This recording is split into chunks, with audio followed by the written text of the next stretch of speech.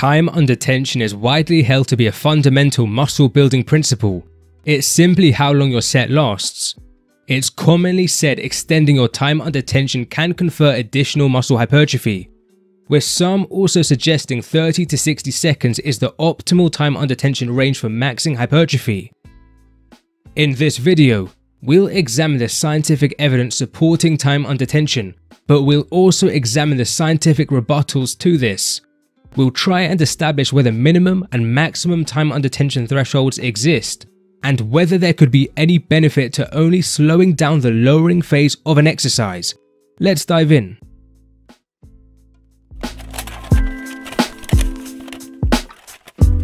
Muscle hypertrophy is a result of myofibrillar protein synthesis, the creation of the proteins that make our muscles bigger, exceeding the rate of myofibrillar protein breakdown, the destruction of those same proteins. A study out of Canada by Burd and colleagues indicates a longer time under tension increases myofibrillar protein synthesis more. They established when training 3 sets on the leg extension with a 30% 1 rep max load, increases in myofibrillar protein synthesis 24 to 30 hours post training were greater after using a 6 second lifting and 6 second lowering tempo versus a 1 second lifting and 1 second lowering tempo. Of course, time under tension per set was substantially more with a 6 second lifting and lowering tempo. Three studies out of Japan find long-term muscle growth is enhanced with slower repetition speeds that prolong time under tension. For example, one of the studies by Watanabe and colleagues had untrained men perform 3 sets on the leg extension and leg curl. Quadriceps and hamstrings growth was superior after training with a 3 second lifting and 3 second lowering tempo, compared to using a 1 second lifting and 1 second lowering tempo. Furthermore, a recent study out of Brazil established when equating time under tension between two different rep tempos, muscle growth ends up being similar.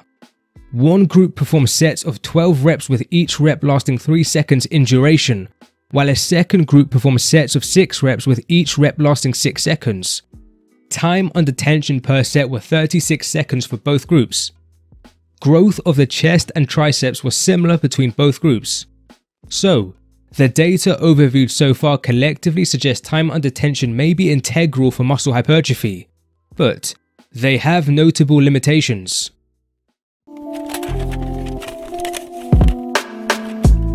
With the Brazil study that equated time under tension between two different rep tempos, their results cannot truly suggest time under tension is integral, as no comparisons with other time under tension durations were made. A 36 second time under tension was the only duration utilized in this paper. With the Canadian Burd and colleague study, finding greater myofibrillar protein synthesis with a longer time under tension, they did not equate proximity to failure. The 6 second lifting and lowering condition involved performing repetitions to failure. The 1 second lifting and lowering condition did not perform repetitions anywhere close to failure, they simply matched the number of reps performed by the 6 second lifting and lowering condition. Similarly, the three studies out of Japan finding greater hypertrophy with slower rep tempos that create longer time under tensions also did not equate proximity to failure. As an illustration of this, we noted Watanabe and colleagues found greater quad and hamstrings growth after training with a 3 second lifting and lowering tempo versus a 1 second lifting and lowering tempo. However, both of these conditions involve performing 3 sets of 8 reps with a 50% 1 rep max load on the leg extension and leg curl. With these training variables, using a 3 second lifting and lowering tempo is going to induce much greater fatigue and get you closer to muscular failure versus utilizing a 1 second lifting and lowering tempo. All of this begs the question, what happens when we get subjects to perform reps to or close to failure?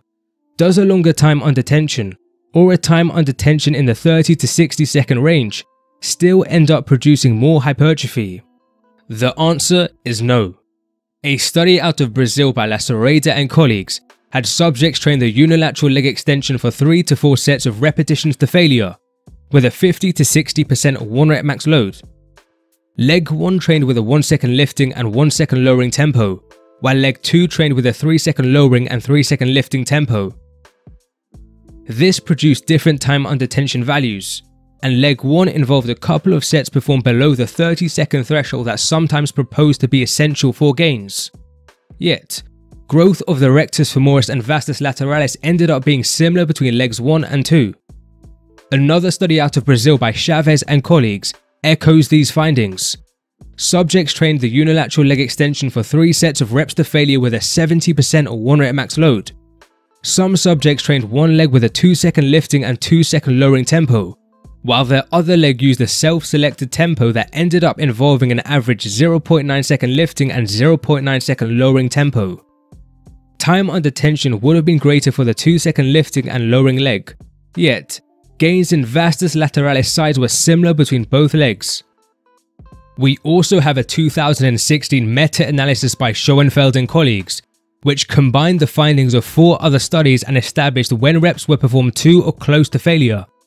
Individual rep tempos from the range of 0.5 to 8 seconds were comparably effective for evoking muscle growth. If we need even more evidence, the research on heavy versus light loads provides this. Numerous studies now indicate so long as reps are performed to or close to failure, Loads between 30% and 80% of 1 rep max are similarly effective for muscle hypertrophy. With 30% 1 rep max loads, individuals very generally tend to perform up to 30 to 40 reps, while with a heavier 80% 1 rep max load, individuals very generally tend to perform between 7 to 12 reps. Thus, the time under tension would be much greater with loads on the lighter side of the spectrum, yet they do not evoke any more hypertrophy than heavier loads. Matter of fact, some research indicates loads heavier than 80% or 1 rep max may also be able to evoke substantial hypertrophy. But most of these studies did have subjects add extra sets when training with heavier than 80% or 1 rep max loads. For example, Schoenfeld and colleagues compared 7 sets of 3 reps per exercise to 3 sets of 10 reps per exercise. Both conditions involve reps in close proximity to failure and hypertrophy ended up being similar between both groups. The author of this study noted in an Instagram post, the 7 sets of 3 reps group attained around a measly 9 seconds of time under tension per set. Presumably, the time under tension in the groups of the other studies performing 5 or fewer reps would have been similar. Thus, we have some evidence indicating time under tension values as low as 9 seconds can still be substantially effective for hypertrophy, provided overall training volume is sufficient. It's clear to see a wide range of time under tension values are comparable for evoking muscle hypertrophy, but there likely exist min and max thresholds.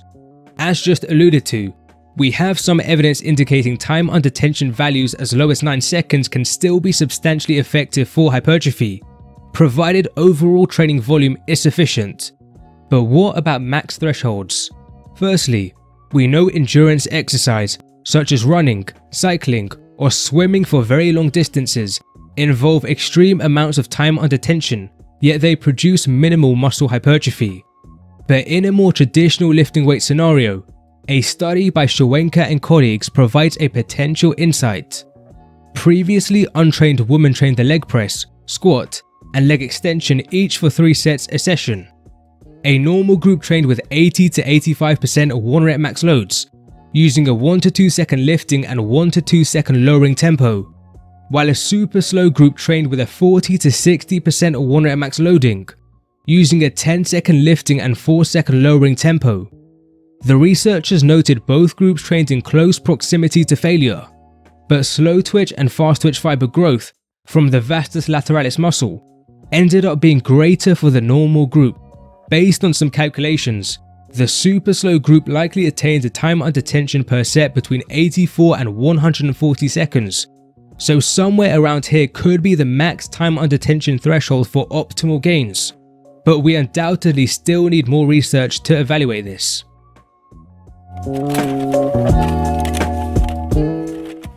What about exclusively slowing and prolonging time under tension in the lowering eccentric phase of an exercise? Unfortunately, the research is unclear and conflicting in this area. Two studies have found with a preacher curl and using a 1 second lifting tempo, using a 4 second lowering tempo tended to be better for biceps gains versus using a 1 second lowering tempo. A limitation is the differences in both these studies were not statistically significant, indicating it's not clear if the differences between groups reflect a true difference or are just the result of random variation between groups. A study out of Japan found with a back squat and using a 2 second lifting tempo, thigh size gains were similar between using a 2 second lowering and 4 second lowering tempo. Another study out of Brazil found with leg extensions and using a 1 second lifting tempo, rectus femoris and vastus lateralis gains were similar between using a 2 second lowering and 4 second lowering tempo but vastus medialis gains were greater for the 4 second lowering versus 2 second lowering tempo. Muddying things even further, a study out of the USA found with leg extensions and using a 1 second lifting tempo, gains in anterior thigh at one region were similar between using a 1 second lowering and 2 second lowering tempo, but gains at another region of the anterior thigh were actually greater for the faster 1 second lowering tempo. All in all, more research is needed to elucidate the effects of manipulating the lowering phase duration.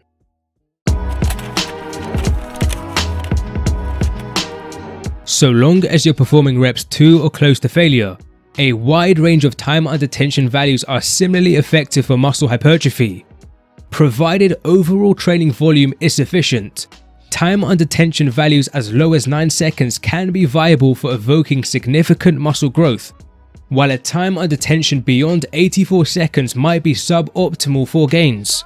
Finally, more research is needed to evaluate if there's any benefit to slowing the lowering phase of an exercise exclusively, as the current data in this area is unclear and conflicting.